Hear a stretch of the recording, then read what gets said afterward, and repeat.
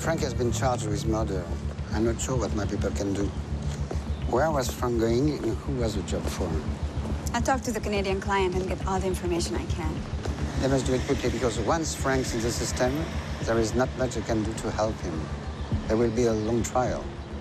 And with all the shit Frank's been involved with, he'll go away for a long time.